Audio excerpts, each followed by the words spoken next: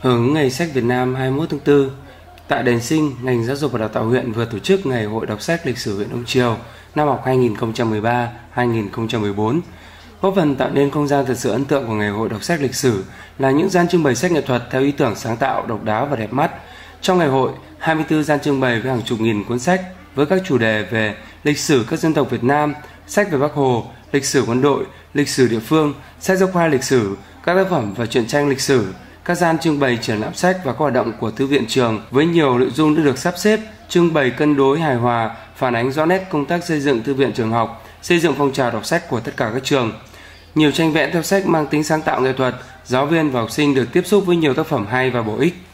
Ngày hội được tổ chức với nhiều hoạt động phong phú như thi giới thiệu cuốn sách em yêu, trưng bày chạy sách, giao lưu và tặng sách. Tham gia ngày hội, thầy và trò đến từ 23 trường trung cơ sở trên địa bàn huyện không những được hiểu rõ hơn ý nghĩa to lớn mà sách mang lại mà còn được phục vụ đọc sách miễn phí với nhiều tác phẩm có giá trị. Đây là cơ hội cho các em giao lưu học hỏi, được tiếp cận với nhiều thể loại sách, đặc biệt là sách lịch sử nói chung và sách viết về lịch sử địa phương nói riêng, giúp các em tìm được niềm vui trong đọc sách và hình thành thói quen đọc sách để mở rộng kiến thức, nuôi dưỡng tâm hồn và hình thành kỹ năng sống.